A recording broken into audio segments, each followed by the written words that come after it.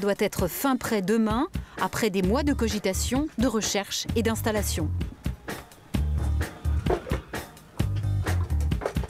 Alors ça vient de toutes sortes de brocantes faites dans l'année. Donc euh, soit dans les vides-greniers, soit chez les brocanteurs. Et euh, bah, j'achète le moins cher possible pour euh, tenir mon budget. Pot de bête et lampe tempête, pièges jaloux et raquettes, ne manquait plus que le trappeur canadien que voilà justement, un automate.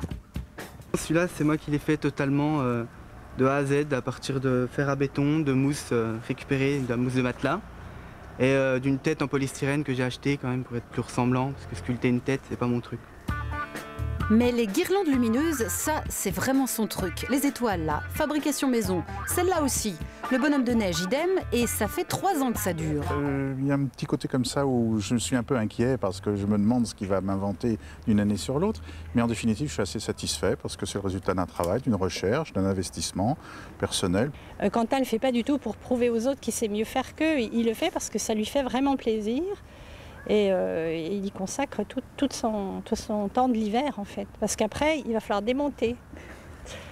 Fin janvier, on va démonter, on va ranger, ça va prendre un mois. Et puis après, on va faire le projet pour l'année prochaine. Parce que ça dure une année, en fait, cette histoire. hein. Et l'année prochaine, vous avez déjà une idée? Non, j'ai aucune idée. Et si je l'avais une idée, je vous la dirais pas de toute façon, car c'est secret.